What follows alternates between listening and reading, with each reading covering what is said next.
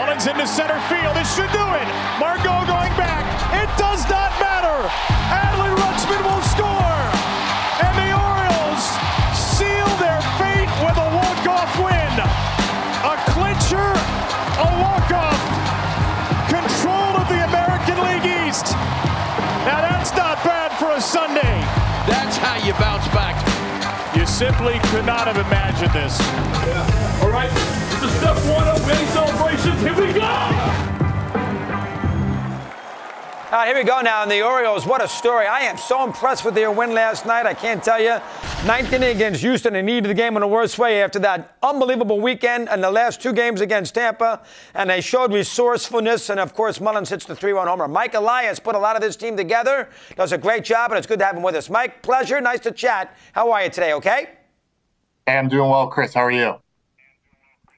Always a pleasure. 87, let's start with the, the great stat 87 consecutive series have not been swept. Wow, that's good. Give me a little rundown there first. Go ahead. Yeah, I, I do not know what to make of that. Um, it's it's interesting. Um, uh, you know, the, I, I would, you know, we've got a really good team. I think I've been watching baseball my whole life. Uh, the thing that sticks out to me with this team is it is uh, very consistent. Um, we haven't had uh, huge hot or cold streaks um, the team kind of snaps back into place quickly, and you know that stat seems like you know the biggest symptom of that. It's a it's a real steady group. It sure is, and give the manager credit for that. He's a steady force himself. Uh, you know, he's consistent. He doesn't get too high or too low. You brought him in, a great hire. Uh, let's throw him some bouquets for a minute. Brandon Hyde, go ahead. Yeah, it's pretty pretty self evident at this point, but thank you. I mean, he he uh, you know we brought him in at the uh, beginning of the rebuild. Um, I, I, thought that he had the uh, appropriate uh, resume in player development. He he has done basically everything you can do in player development, um, playing, coaching, um, whatever, up and down the minor leagues, front office. Um, and I knew that the the Baltimore rebuild was going to be um, you know, somewhat arduous in the first few years, and you know, you would need somebody to have perspective to withstand that. Um, and I, I, like the way he sees the game and thinks about the game, and um, you know, it's turned out uh, to be uh, a perfect fit. And I'm I'm very very pleased for him, but also proud um, that we are one of the few teams that I can tell that have um, kind of had the same manager at the beginning of a massive rebuild, and then also into the competitive state. So um, he's uh, he deserves all the credit in the world. Yeah, I asked you that last time, you know, because a lot of ma- a lot of teams bring the manager in just to, you know, handle the losing and the young players, and then when they're ready to win, Renteria with the Cubs is a perfect example. Uh, when they're ready to win, they change managers, and the Cubs got Maddon, and of course Hyde came from Maddon, and you stuck with him, so that's that's a good one there. All right, uh, how about last night? I mean, you figure maybe a little flat. Geez, ever going to lose a game? Give them one last night in Houston. Had to travel there, no day off, and the Astros are playing for a season, and they're down. You guys are down in the ninth inning, and Mullins hits a three-run homer. Ah, that is a tremendous gut check against that Astro team. How about that for a sec? Let me hear. Yeah, very wild game. Um, I, I, think that the, our team, um, uh, to its credit, kind of finds ways to win, and you know we did our best to give that game away a couple of times, and um, you know just came back through a lot of lead changes.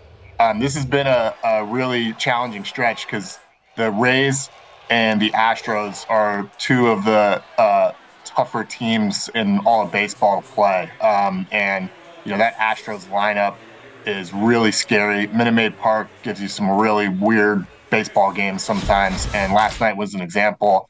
I can't believe we won, um, but that's this group.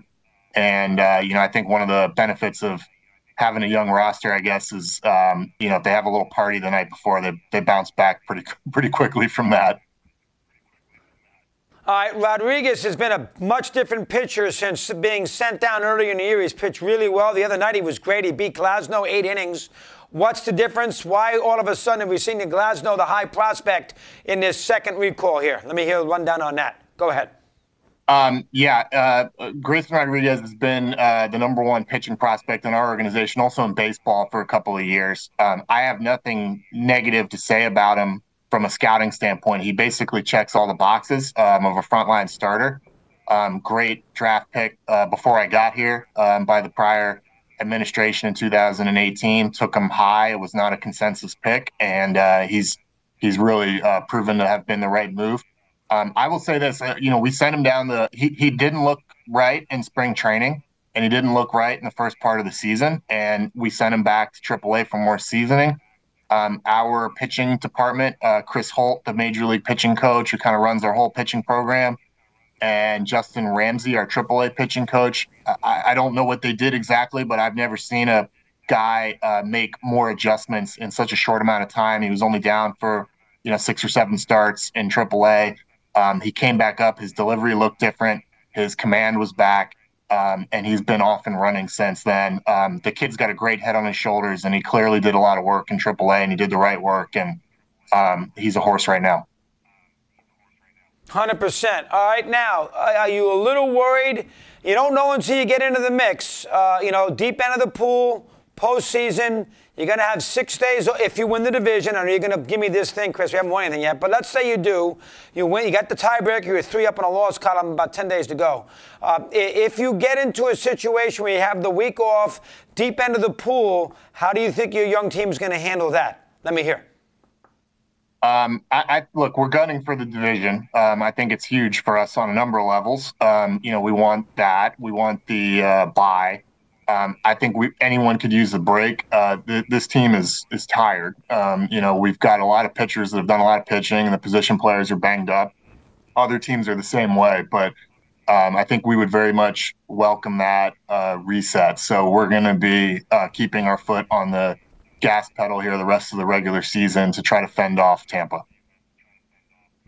All right, so there you go. So the week you're not worried. You could use a little blow if you do win the division. You'll feel a little better about that. Going to win 100 games too from that. Are you a year or two ahead of uh, schedule, Mike? Would you ever, in your wildest dreams, if I spoke to you, you know, Vegas had you at 76 and a half over under in the regular season, which I thought was crazy anyway. Last year won 83 games, 76 and a half. So in your wildest dreams, did you ever think that you'd be a 100 win team in 2023? In spring training? You know, I, I, am going to be honest with you. I don't think about that stuff. I've never talked timelines. Um, I've lived this before um, with the Houston Astros and and um, that rebuild and Jeff Luhnow and the whole thing there. And you know, you just kind of push hard in the correct direction over and over and over for years. The the door just pops open one day, so to speak, and that's what happened last year. Um, I wasn't surprised by it, but I, I, you know, nobody's smart enough about baseball to know when and how that's going to happen exactly. Um, but this group, um, it's very uh, high character. Uh, they mesh well together. Um, the roster is very dynamic and um, and interactive and uh, flexible. And I think that um, you know the reason that we're there's a lot of reasons that we're outpacing our projections this year um, but that's a big part of it. Um, the t- the team really works well together and likes one another, and um, and it, it, it, there's a lot of chemistry.